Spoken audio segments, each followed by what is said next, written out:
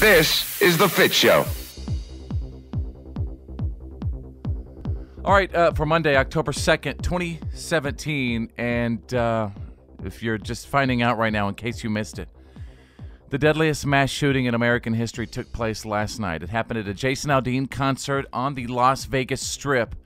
Over 50 people were killed, 200 wounded. The shooter was firing from the 32nd floor of the Mandalay Bay Hotel and Casino into an outdoor country music festival called the Route 91 Harvest. And um, details are still so sketchy, as you can imagine. I've been trying to get a hold of people on the phone all night. There are so many people from the country music community that were there. I've heard that uh, uh, people that, that we know in the industry are in surgery as we speak. Uh, so many people seem like they have a, a Vegas connection today.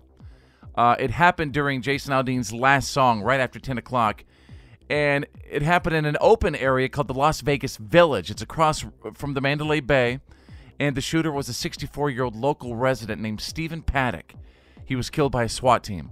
There were three long bursts of automatic gunfire with long pauses in between. And it, there's so much devastating and frightening audio from the event.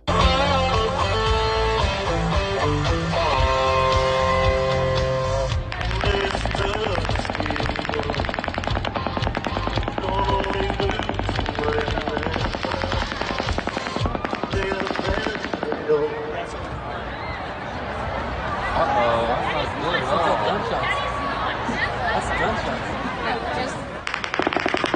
down. Get down.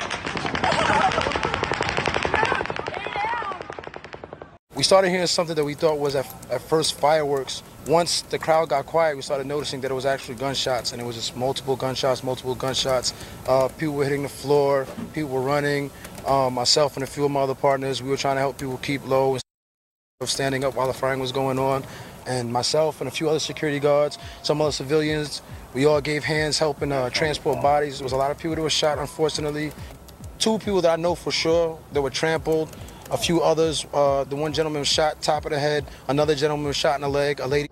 Again, so many reports are coming in, um, and we'd love to hear from you. If you knew anyone in Vegas last night, uh, uh, if you've personally been affected, we'd love to hear from you right now. Find us on Facebook, Twitter, Instagram, Snapchat. Uh, also on our Facebook right now, facebook.com slash follow Fitz. Again, at least 50 have been killed, more than 406 injured after a massive shooting. The worst mass shooting in history in Las Vegas last night at a country music event. Welcome to The Fitz Show.